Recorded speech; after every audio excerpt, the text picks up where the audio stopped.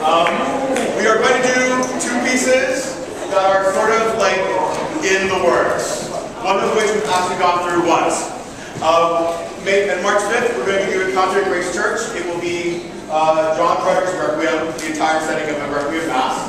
Um, so today we're going to do the first two movements, again, which we're kind of working on. Um, and uh, the first is actually the Requiem, the actual text, as well as the Kyrie. Here we go. You watch it. That's all I gotta say. Here